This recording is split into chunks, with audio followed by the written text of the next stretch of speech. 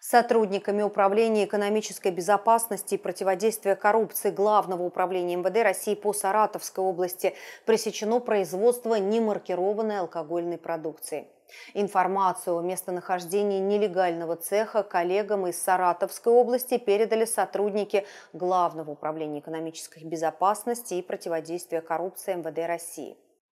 В складских помещениях одного из бывших торговых объектов на территории Ленинского района города Саратова полицейские обнаружили оборудование, емкости со спиртосодержащей жидкостью, смешанной с красителями и различными добавками, общим объемом около 5000 литров, а также около 50 тысяч бутылок водки, более 3000 бутылок коньяка кустарного производства и 200 канистр со спиртом. На прилегающей к складским помещениям парковке оперативниками была замечена фура, в которой находилась упакованная в коробке продукция подпольного завода, более 450 литров водки и коньяка с этикетками известных торговых марок. Следователям следственной части Следственного управления УМВД России по городу Саратову возбуждено уголовное дело по признакам преступления, предусмотренного частью 6 статьи 171 прим. 1 Уголовного кодекса Российской Федерации.